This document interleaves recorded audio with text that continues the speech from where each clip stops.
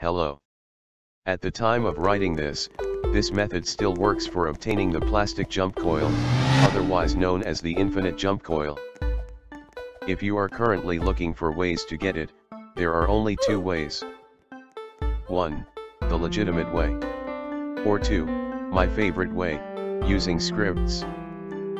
This video will be covering the dirty way of obtaining such an item.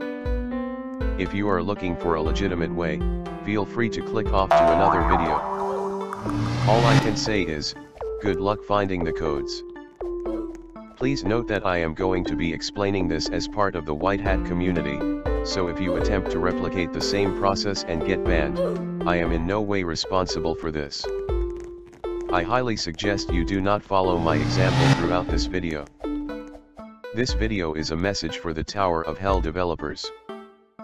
Let us continue. The coil itself is somewhat of a game changer, as it allows the user to jump all the way to the top without having to go through the parkour itself. Doing some research, it is part of the 17 myths that surround the tower, each containing their own little mysteries. We will be exploring number 13. I've allowed myself to take a look within the community to research what exactly the coil is. Here, taking a small sample from the YouTuber Squid Magic, I immediately notice that this coil is indeed a tool. As a developer, you must store a tool somewhere within a server to allow people to equip the tool itself. The same applies to the gravity coil and the speed coil. Because of this, I took the liberty of investigating the properties within the Tower of Hell itself. Using Darkdex, I have scrolled through the contents within the game and took a look at the replicated storage areas, a place vulnerable to exploiting usage. Labeled clearly, we see a folder within the name Gears. As a result, using a simple script, we can copy tools from the replicated storage areas, allowing us to obtain these items.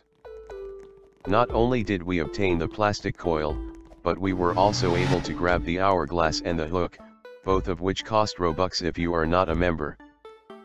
And clearly, I am not a member of the Tower of Hell.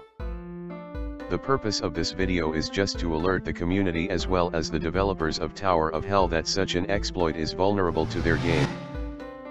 Perhaps you can alternate the way that you store items, preferably not in the replicated storage or lighting areas.